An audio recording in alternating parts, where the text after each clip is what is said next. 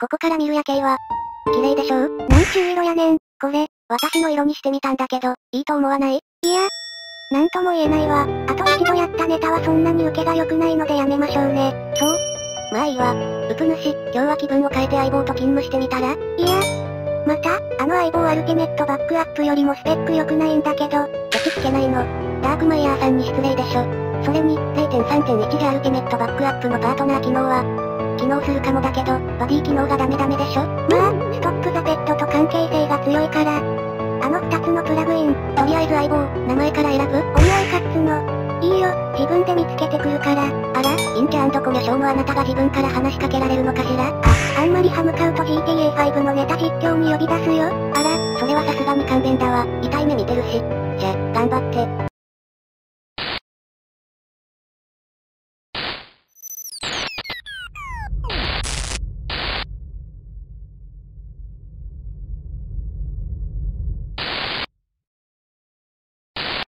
こんにちは、ウプ主のクエストドラゴンです。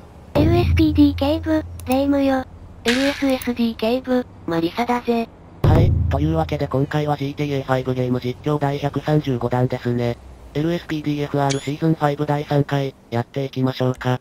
えー、っと、じゃあ相棒出しますか。あ、アルティメットバックアップは0.3.1に対応しているバージョンに戻しました。で、前回このプラグインを使った時に相棒が何もしてくれないって言ってたんですが、このエンゲージホスチルズっていうのにチェックを入れないとダメだったみたいです。これ、戦うっていうチェックボックスなんですが、私これの意味を、犯人が逃走した時に速攻で殺すっていうものだと勘違いしてチェック入れてなかったんですが、そんなことはないらしいので今回は入れてやっていきます。ディスパッチより各局、ミッション、同付近にて市民間のトラブルが発生、対応可能なユニットは応答。さて、今回はこちら、CVPI ですね。クリスマス仕様車の CVPI を使用していきます。わかった。すぐに行く。確かエクステンド2で私が使ってたわね。そうだね。それと同じものになります。パトカーのデザインは俺がオリジナルで作りました。ただ一部の文字とかは元々のスキンから持ってきてるんですけどね。なので半分は俺が作ってます。ディスパッチより各局、指名手配犯が ANPR カメラにヒット、対応可能なユニットは追跡願います。じゃ、ELS の点灯パターンを確認しましょうか。まずこれがトラフィックアドバイザーですね。セカンダリライトを有効にするとつきます。わかった。そっちも行く。で、これがプライマリライト、いわば緊急走行の一歩手前の状態ですね。いい段階の時点ですごいのよね。そしてこれが緊急走行用のワーニングライトです。もはや法律違反並みの光り方。はい、今回はこの超眩しいクリスマス式パトカーで勤務します。ちなみに補足だけど、これ車両パックになってるから、市内を走っている他のパトカーもとんでもない眩しさになってるわよ。はい、まあそんな感じでやっていきますね。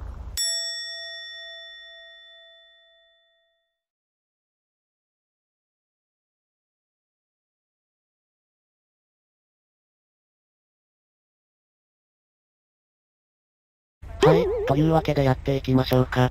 コールアウトの設定が悪かったみたいで。キーを押してクラッシュするって、故意的にクラッシュを引き起こしているのと同じだよな。まあ、確かにね。おっと、防弾チョッキ置き忘れてたので追加しておきます。ちょっと、めんどくさがらずにトランクから取りなさいよ。信号待ちだっていうのにパトカーから降りちゃったら後続車の邪魔だからさ。今回だけだよ。それと前回紹介し忘れてたん。だけど、プライベートで USPDFR やってたらマリサって名前の市民見つけたよ。は、いたのか。そん。なやつ。ほら。うわ、ほん。とだわ。まさしくマリサね。いやいやいや。しかもしっかり女だし。それに思ったのが、だよね。あら、じゃこの人、ね。おいおい、これ YouTube に出すん。だろそん。なこと言って大丈夫かまあ、YouTube 版ではちゃんと規制しますので。ちなみにパトカーの車内はなんかアルミっぽいのがありましたね。あ、そうそう、相棒、ちゃんと挨拶しておいて。おう、よろしく。よ、よろしくって。お前名前なんだ ?MPM フリーモード1だ。ネタすぎるっつの。あ、そっか。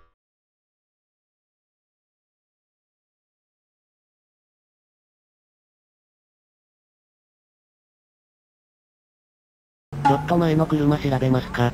暇ですし。大体怪しいって思ったやつは本当に怪しいのよね。LS88 より LS 本部、ナンバー紹介願います。44GJZ285 でアステロープです。こちら LS 本部、紹介の結果所有者の免許期限が切れています。以上 LS 本部。やっぱり何かあったな前のセダン車の運転手さん、停車してください。ああ、ええそこで止まる？もう少し先まで進んでもらえますか？あ、そちらでいいです。眩しすぎだろ。目立ちますねじゃあ行きますか。免許の更新ぐらい行きなさいよ。面倒くさがりなのかしら。よろしくです。モンタナと申します。よろしくお願いします。モンタナ巡査はじゃあ被疑車両の助手席側に立っててもらえますか？ラジャーザット。ディスパッチより各社、職質中に警察官の停止を振り切り逃走するドライバーがいるとのこと。ビルボックス、ヒルです。モンタナ巡査、乗って。もういい、ほっとけ。逃げられるぜ。ああもう、これだから嫌なんだよな。まず応援呼びましょう。ディスパッチ、応援ちょうだい。ビルボックス、ヒル。ディスパッチ了解。金の各社は支援を。こんなとこだかまっすぐなとこで追跡をやめる気はさらさらない。今回寝たくないか？あいつすごいわ。たとえ起きても犯罪者であり続けてる。まあ寝たいぜ。本当に。とにかく追いかけましょう。たかだか免許が切れてるぐらいで逃走するとは相当ビビりだな。ディスパッチより各局、LSPD のバックアップ要請あり、場所はアルタ。対応可能なユニットは応答。セダンでも意外と速度出るんだな。一体どこに逃げるつもりだ？とにかく俺らが負けれ？ばそれでいいんじゃないでもそう簡単には逃がさないぜ。ああ、その後で俺が行く。あら、感覚外に逃げる気ね。どこだろうと追いかけ回してやる。どうせ俺のスキンがダサいと思って逃げてるんだろ。めっちゃ真剣だぜ。うつむし。せっかくでも一度落ちてるので再度決めて再にします。ディスパッチより各局、追跡事案が進行中。場所はバイノット、ヒルズ。被疑者は北上中。めっちゃ危険運転してるわね。逃げれば逃げるほど罪は重くなるわよ。逃げなければチップだけで済んだっていうのに、もっと刺激が欲しいんだろ。それかより多くの罰金を払いたいんじゃないか太っ腹な運転手だな。ディスパッチより公的戦術部隊、スパイクベルトの要請あり。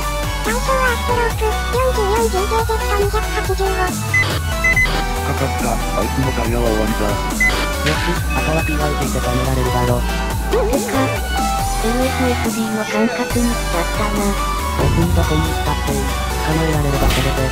ちょっと、あんた PIT 許可申請してないでしょ。おっと忘れてた。ディスパッチ、PYT の許可をください。ディスパッチ了解。製鉄中の全員の下に PIT の使用を許可します。頼め、いつまでも言うつもりだ。タイヤ破壊されてるってのにしぶといやつだな。よし、気にしたぞ。このまま囲んで止める。追加で、今すぐにだ。おう、うまいぞ。へえ。シェリフ、意外とやるわね。それでどうすると思えたのもつかの間だったな。さっきは警官には囲む側を対応してもらおう。よね、不幸すぎでしょ。よし、降りたな。そのまま地面にしてるんだ。ご、ご、ご、ご、ごめんなさい。ば、罰金払うお金が財布になかったのよ。クレジットカードでも決済できますよ。できないわよ。本現金オンリーだわ。はい、じゃあ現行犯で逮捕ね。現金が手持ちになっても言ってくれれば対応したのに。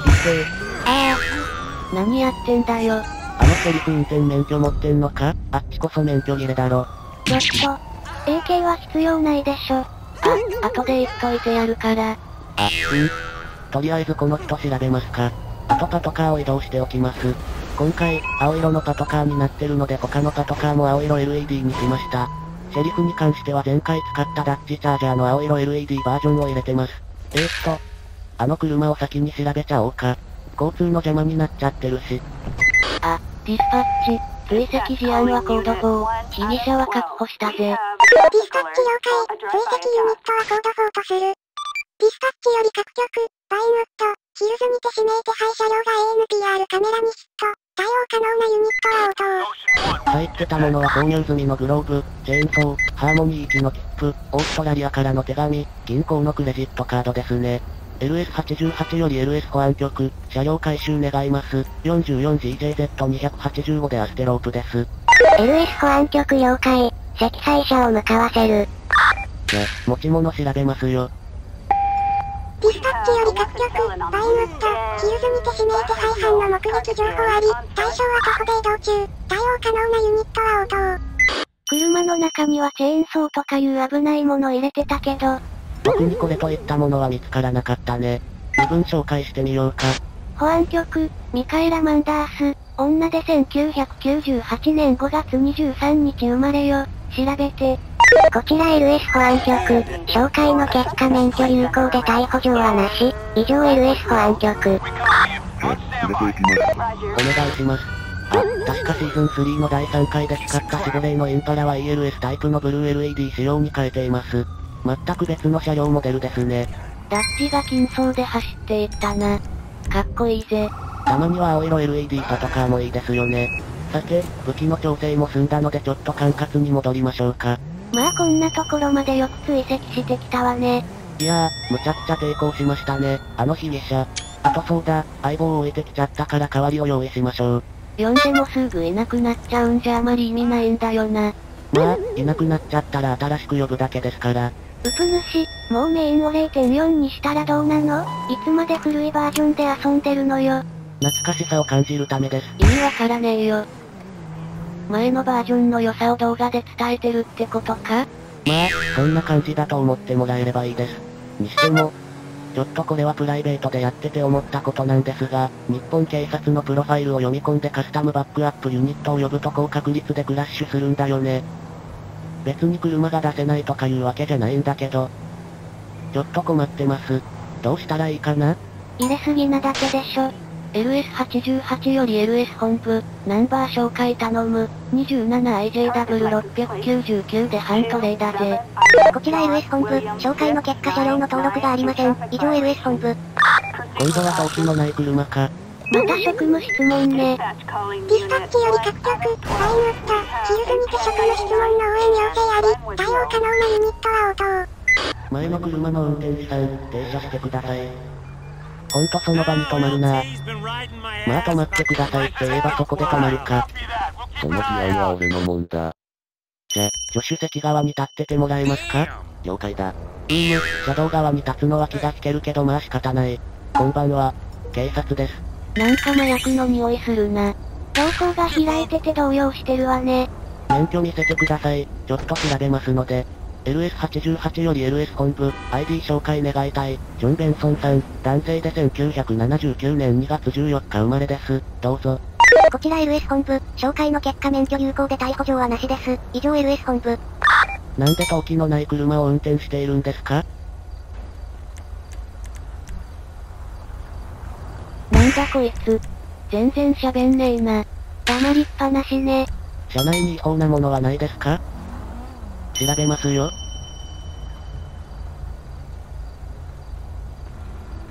とことん黙りっぱなしだなこの人、大体職質して質問すると答えを何かしら返してくれるんだけどな。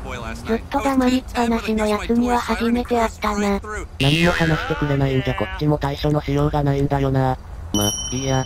とりあえず切符切っておきましょうか。いやいや、何も言わないなら勝手にこっちも何も言わずに調べるわ。別に何もなかったな。変な奴に襲われた時に使う防犯用の笛が入ってるぐらいね。まあ、とりあえず車の中には何もなかったね。じゃあちょっと飲酒とドラッグの検査するか。何も言わないなら素直に応じてくれるでしょ。飲酒はしてないな。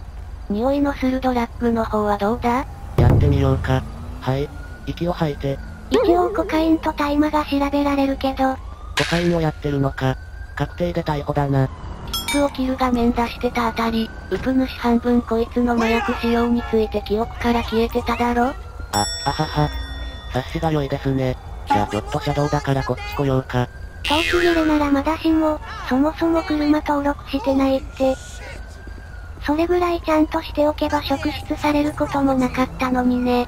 結構ロスサントスの市民って登記とか保険とかしっかりしてないやつが多いよな。免許もそうだし。まあ、しっかりやってるやつは本当にしっかりやってるんだけどな。じゃあ略式裁判の結果です。被告はジョン・ベンソン。生年月日は1979年2月14日。罪状は麻薬を使用しての運転。判明日時は2021年4月28日午後11時14分。略式裁判実行日時は同日午後11時21分。以上よ。ディスパッチより各局、トラックの盗難事案が発生。場所はバインウッド、レーストラック内。付近のユニットは対応を願います。了解、すぐ行くわ。ディスパッチ了解。コード3です。マリサはサンディショーズをよくパトロールしてるし、そういう違反ばっかりの車とかってよく見てきてるんじゃないかしら？ああ、うじゃうじゃいるぜ。治安悪いしな。もうちょっと詳細にドラッグを検査してみよう。はい、もう一回調べるよ。うつ主、5PD じゃないんだからあまりほったらかしにすると逃げられるわよ。ま、レーストラック内を走ってるだけだから平気でしょ。コカインに加えてエクスタシーまでやってたね。さて、じゃあこの人は一旦パトカーに乗せて、トラック盗難事案に向かいましょうか。よし、じゃあ相棒、行くぞ。了解だ。ああそうだ。この車は回収しておかないとだね。LS 本部、車両回収してくれ。ハントレー、バインウッド、ヒルズだぜ。LS 本部了解、積載車をそちらに向かわせた。オッケー。じゃあ行きますか。おそらくまだレーストラックの中でうろついてるでしょ。ガソリンに気をつけろよ。長時間の追跡になるとガス欠はかなり足手まといになるぜ。相手はレーストラックの中。仮にそこから抜け出せたとしてもトラックだし速度は出ないから、止めちゃえばそんな長い追跡にはならないでしょ。言われてみれば確かにそうね。ささっと止めちゃいましょ。うん、まだレーストラックの中だね。一度入ったら相当賢くない限りは抜け出せないだろうな。なんだっけ、0.4だっけな。0.4だと確かレーストラック抜け出して逃走してた気がする。LSPDFR のバージョンはあまり関係ない気がするが、NPC の挙動によるものだろうし。ああ、それもそっか。さて、止めますか。警察だ、そのトラックを止め Attention units, 1033ディスパッチよ traffic. り各局、追跡事案が進行中。場所はバインウッド、レーストラック。被疑者はトラックに乗車。ロードブロックに失敗した感があるけどトラックを捨てたね。あとは確保しちゃいましょうか。結構あっさり簡単に捕まえられるわね。さあ手を挙げて立ってろ。なんか女の逃走犯が多いな。性別がどちらだろうと法を犯してることに変わりはないからね。合ってるんだ。はい、車両窃盗の容疑で逮捕ね。ディスパッチより LS88、被疑者の確保を確認。追跡事案はコード4とする。お疲れ様でした。以上ディスパッチ。なにこいつも麻薬やってんのかしら何よこの針の跡は。ディスパッチ、女性警官ユニットを1台お願いします。ディスパッチ了解、女性警官ユニット各車、コード2でバックアップ要請あり、バインウッド、レーストラック。本部、ソフィー・ベイカー、女で1998年5月17日。こちら LS 本部、紹介の結果免許有効で逮捕状はなし。以上 LS 本部。だね。ちょっと持ち物検査をしてもらいましょうか。おう女？だよな。スキンヘッドにしてるやついるんだな。あんまし見かけないけど、海外だといるみたいね。さて、所持品検査が終わったら次はドラッグの検査だね。なんか、あれだな。見るからに柄の悪そうな女だったな。銃の使用許可証は持ってるんだ。特に怪しいものは持ってないみたいだね。お酒飲んでたり、麻薬やってたりしますか？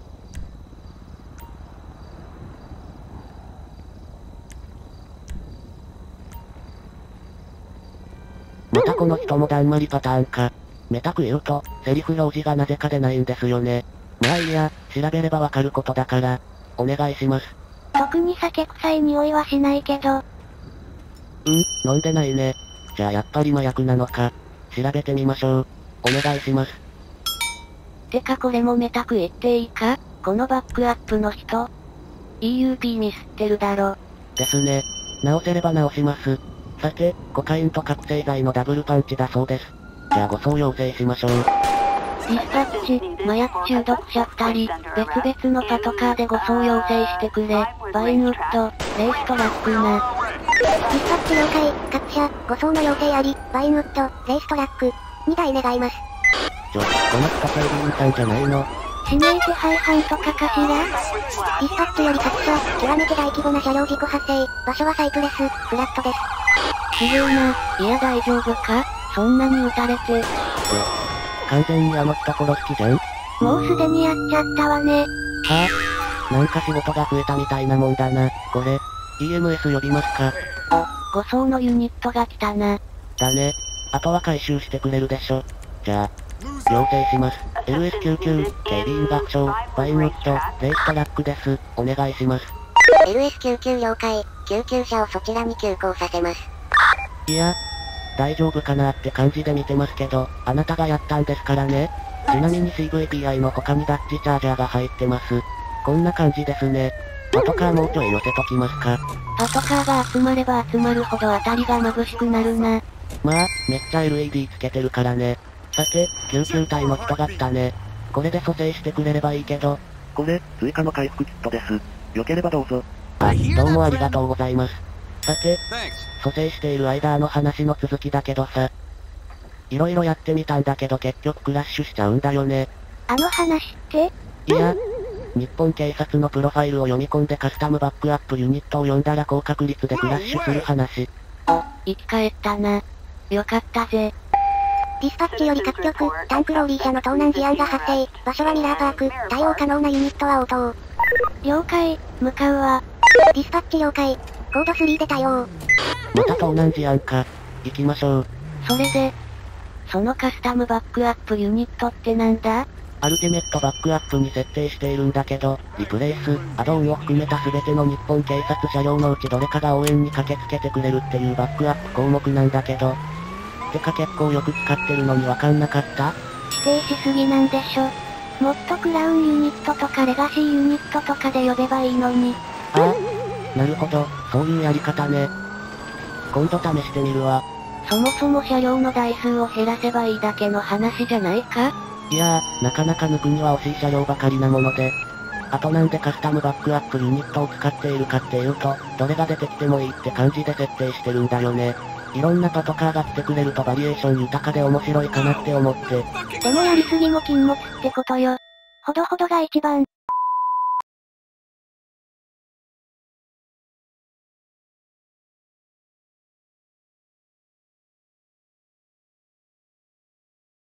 さて、高速道路にやってきました。実は変更点として、これまでステルス22種の ALPR プラスを使っていたのですが、システム音が出なくなってしまったのでベジョル女子の ALPR ライトに変更しました。今回は最後にそれを使って取り締まりをして終わりにしたいと思います。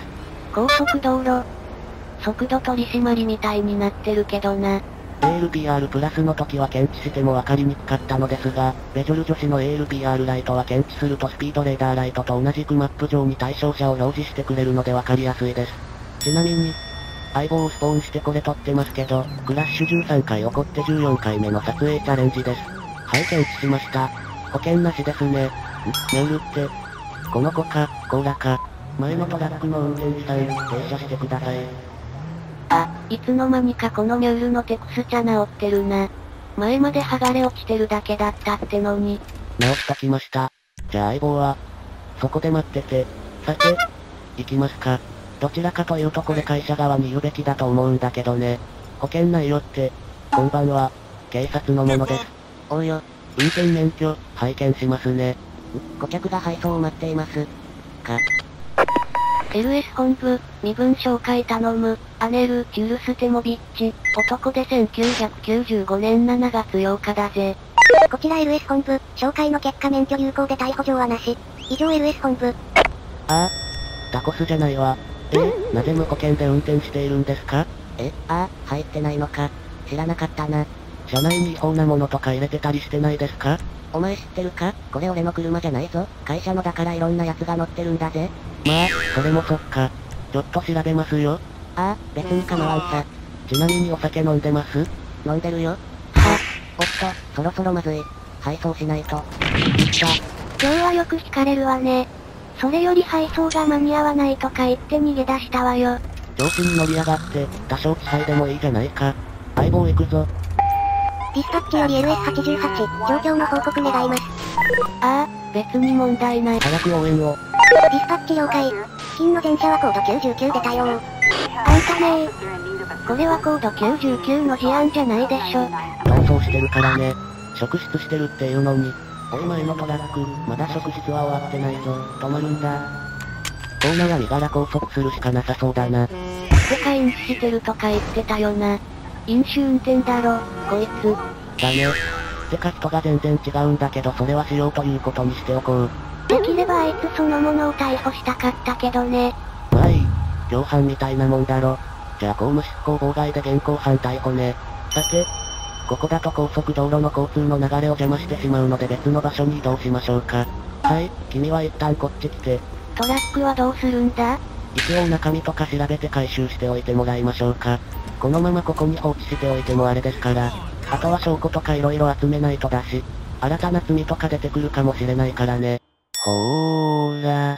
運転席にハンマー、助手席にバスケットボールとソードオフショットガン、大量の怪しい透明な結晶、パスポート、購入したグローブ。でボンネットにバッテリーチャージャーね。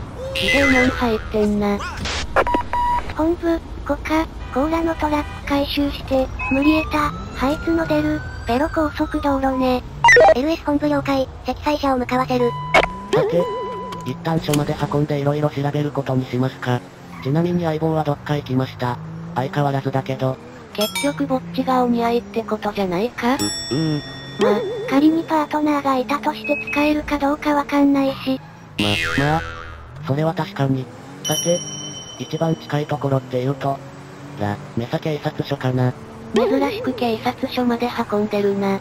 いっつもクラッシュしてばっかりだからこういうシーンってなかなか動画の中にないよな。あとは全部護送ユニットに引き渡しちゃったりとかしてるもんね。いちいち警察署に戻るっていうのもねまあ、自分で護送をするときってのは警察署に用があるときか勤務を終了するときとか。そんなぐらいだな。そうだね。大体そんなところかな。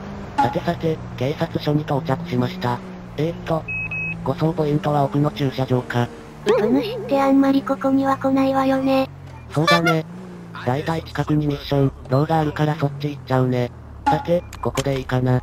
なんか、あれだな。別に取り調べ室とかじゃないが、事情聴取するのにそれっぽい場所だな。人の目も気にならないからね。さて、降りてきてもらって。じゃあまず所持品検査からしましょうか。はい、後ろ向いてそのままね。トラックの中にショットガン入れてるんだもん。絶対なんか自分でも持ってるでしょ。それはまあ、調べてみればわかるでしょ。あー、なるほどねー。やっぱひでえやつだったな。まあ、銃器使用許可証は持ってるけど違法なものは違法よ。だね。じゃあ飲酒検査しますか。飲酒運転してるってあの人は言ってたけど、あの人は、だろ？こいつはどうだろうな。飲んでないわね。じゃあ式帯運転はなしになるわ。じゃあそこ座っといて。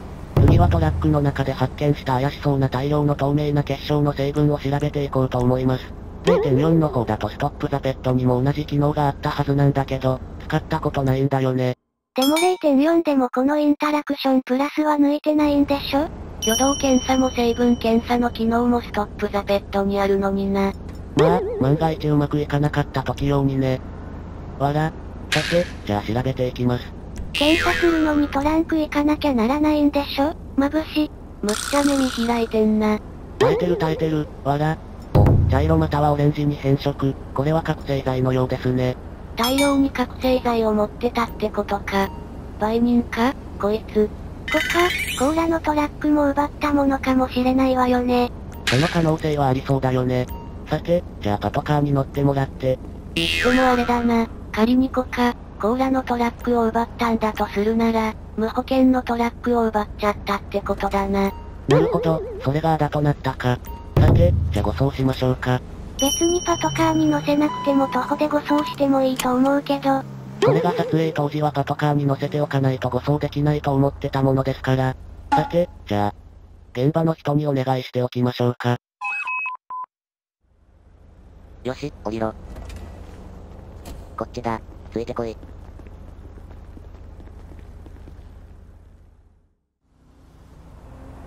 はい、というわけでもう一回ここに戻ってきました。え、もう一回やるのか？これは妥協して一人だけでやった場合のシーンなので、一応これも載せときます。また寝たくなってる。私の出番はもうないんですか？誰だお前？?ALPR プラスの音声担当、ALPR プラスです。そういやいたわねあんま覚えてないけどああ、もう ALPR ライトになってるので、汎用ボイスで。汎用ボイス。さて、通りかかる車のナンバーをめちゃめちゃ調べてますが、なかなか引っかからないですね。よく俺ピンポイントで違反者だけナンバー紹介できてるな。大抵こういうのって覆面がやるんだけどね。この位置で取り締まるのは、入った。冬季切れだそうです。えー、っと、モデル名が16進数っぽいのになっててわけわかめなんだよな。でもまあ、サンセットレッドってこれだろ。前の車の運転手さん、停車してください。やっぱその場で停止か。パトカーに続いてきてください。あ、そういやフェロニーストッププラグインってやつ入れてるんだった。サトリ、これ使えばよかったと思うんだけどな。これ、0.4に入ってないだろ。あ、そっか。あいつなら私が処理しといたから平気よ。ひどいやり方で処理してたけどな。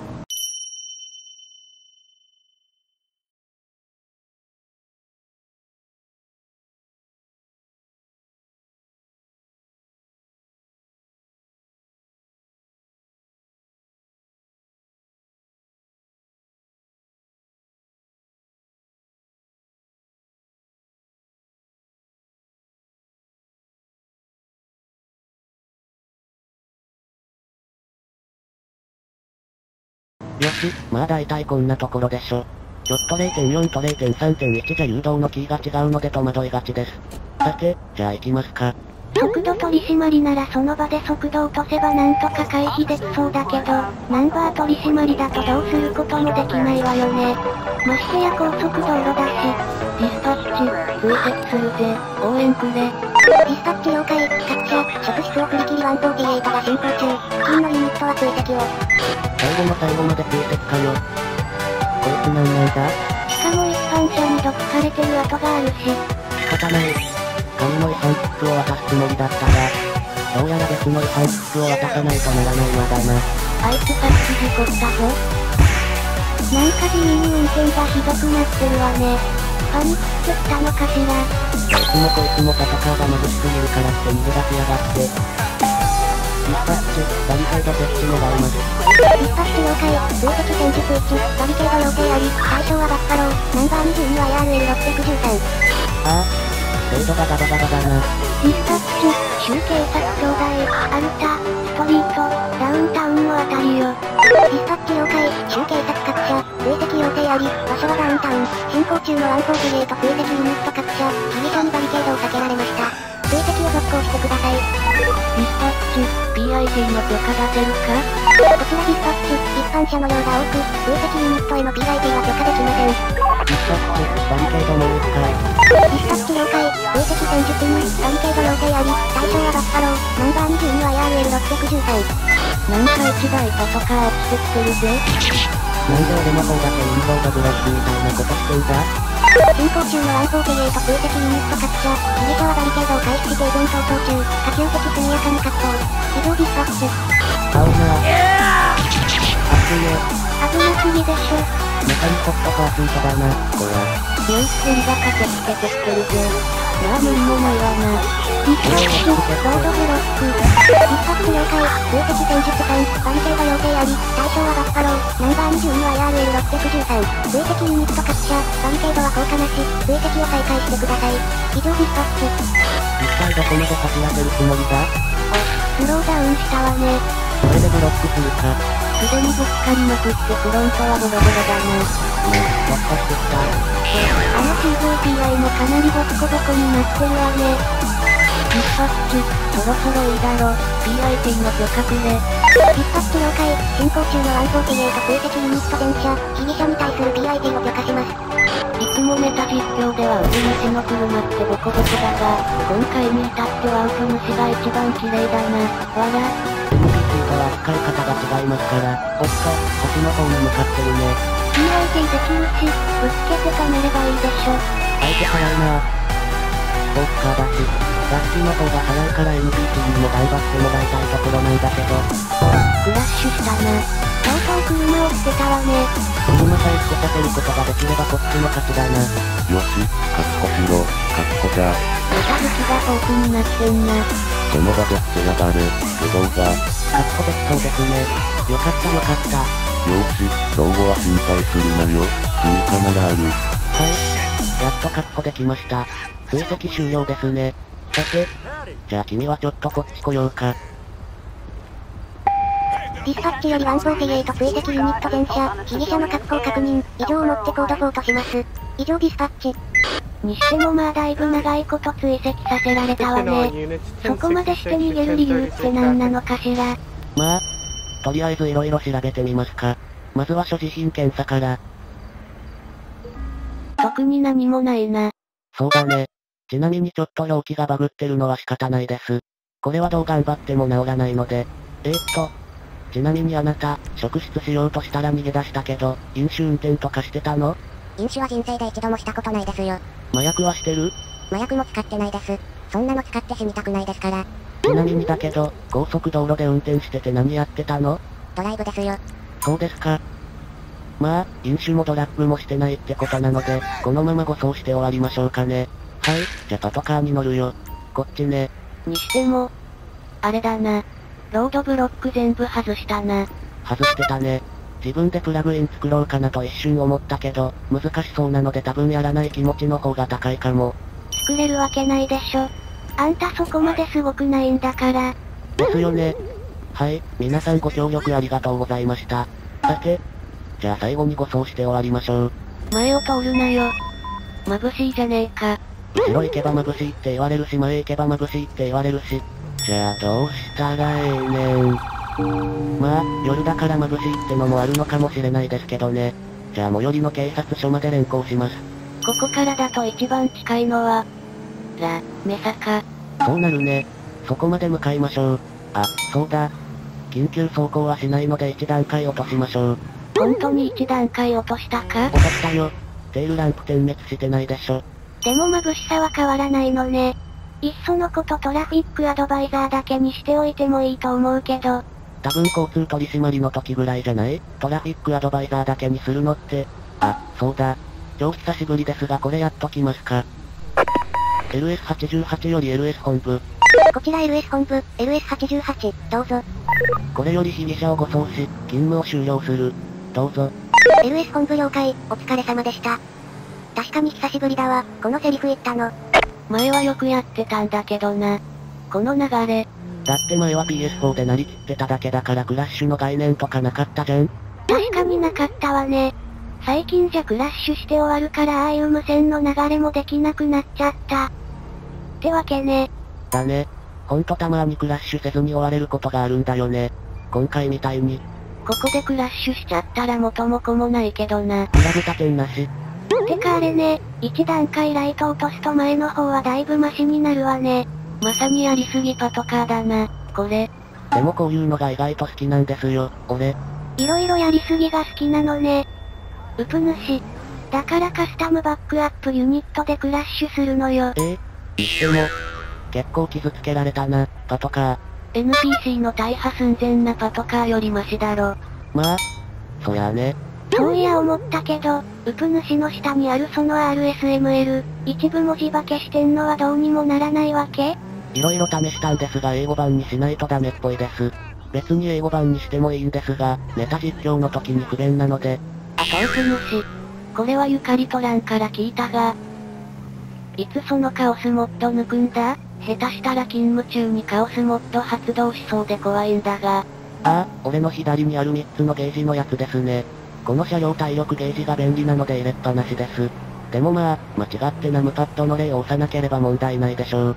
特にコマンドが LSPDFR をプレイしている時にうっかり反応してしまうということもないでしょうし、アルプンテよね。あの二人めっちゃ嫌がってたけど、何が起こるかわかんないから楽しいんだけどね。いまいち人気ないですね。何が起こるかわかんないから怖いんでしょ。まあ、人によってはそういう受け取り方にもなるかもね。さて、いろいろ話してたら到着しました。えーっと、一応矢印に従いますか？ここは、なんか、そういうところだけ真面目だな。あくまでも警察官ですからね。さて、じゃあ今回は自分で運んでいくとしましょう。はい。というわけで留置所にやってまいりました。こういうシーンもなかなかないわよね。ないですね。大抵勤務中は護送ユニットに回すので。はい、こっちね。結局なんか、今回パートナーってなんかしたか？いや、何もしてないかも。そう考えると現行バージョンのアルティメットバックアップって優秀ですね。ロードブロックはどうなのか知らないですけど、はい、じゃ君はここね。おとなしく待っててよ。クソったれ。ま、自業自得なのよね。紙の違反切符だけのはずが、逃げちゃったからこんな感じの違反切符をもらいましたね。さて、じゃ戻りましょうか。